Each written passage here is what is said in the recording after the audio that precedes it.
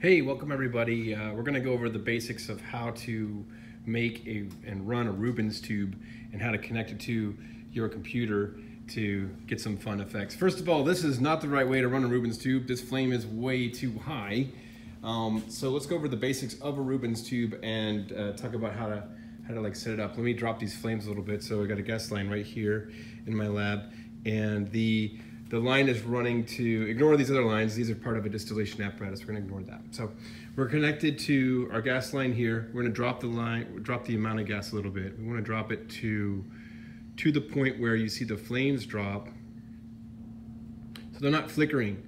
We wanna control the flames with sound inside the tube, so we want them to the point where they are not flickering on their own.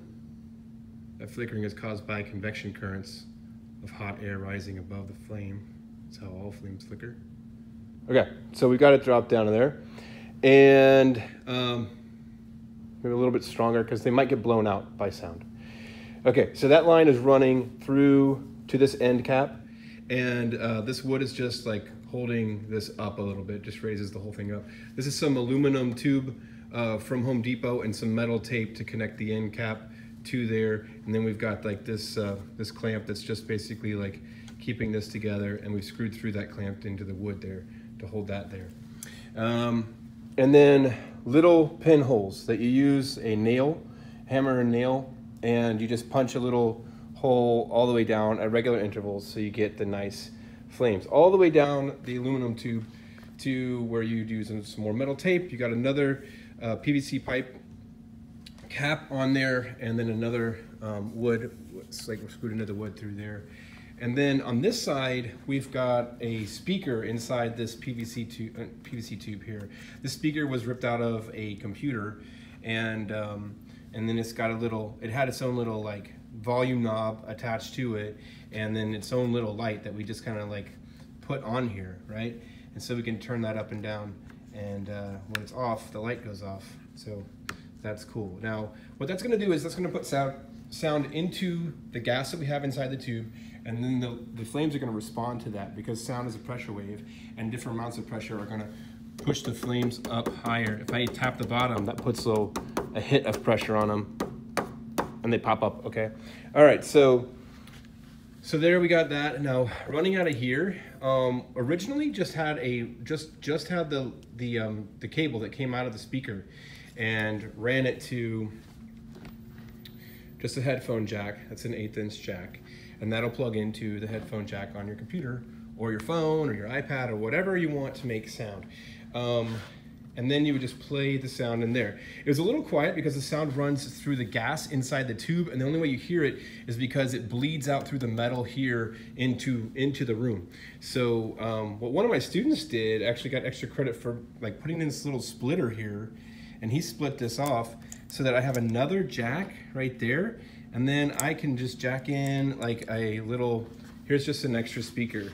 And this one's just a little fun, like it's got, it's one of those bulbs that like, you know, responds to touch and has the, the little like zappy lightning there.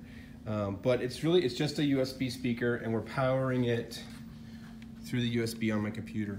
And that way we can hear the sound better in the room. You don't need that to do the Rubens tube. It just enhances the effects. You can really hear what's playing better. Without it, everything's kind of muted and soft. And then uh, we could play, you know, we could play some music. So my little SoundCloud here, and uh,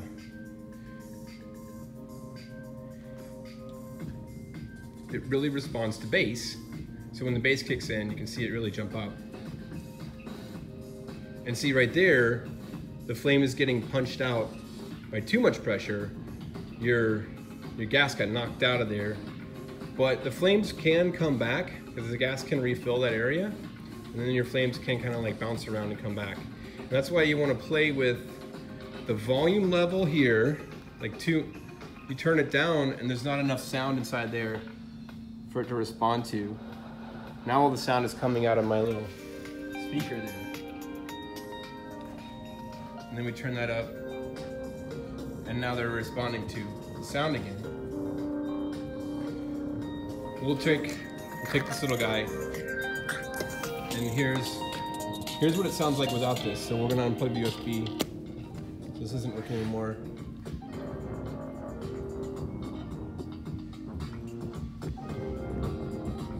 See how it's muted?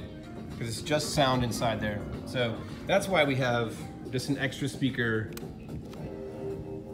so that we can hear what's going on in the room.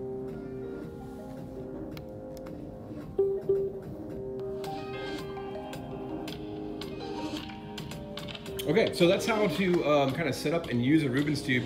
And you can just play this, like I could play this for any sound, any music. Um, one thing that's really fun to do is to play pure sounds. So if I play a pure sound, if I go online, I just went online to YouTube and I found a, um, a sweep, an audio sweep. And it's in the range of human hearing. And if we play that sweep across about 40 seconds, then the flames have enough time to kind of respond and show you those waves. And that's where it's really powerful for a science class. So let's check that out really quickly and we'll end this video with that. Thanks for watching. Here we go. Um, stop SoundCloud first. Boop. Okay. All right, here we go. Gonna sweep that. There, that's back. All right. Not bad. Started it already too high. Okay, we're gonna restart it. Here we go.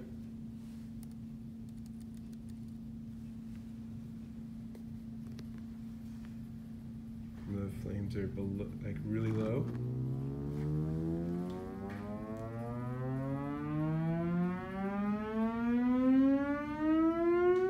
So higher pitch, smaller waves. Oh, and you see we we blew out our we blew out our flames. Oh, it's piercing. This is where you have to play with it. So you come down, when you blow them out, just get your aim and flame and relight, and it kind of runs all the way across. And then you can just kind of like sweep that, and that'll like catch up. Okay, so let's make the flames a little stronger. Again, we're gonna adjust that right here. And I cut them off. Oh, there they go. Little little higher, so they're a little stronger, harder to blow out. But you know, if you get them too high, then they kind of just bounce around on their own and don't respond as much to the sound. So here, let's restart that and let's give it a go. I'm glad you got to see that, so you got to see what to do if your flames go out. Now the low end, see this closer to the speaker, that's more likely to get blown out. So that, that end will get blown out first if you get your trouble with Rubens tube.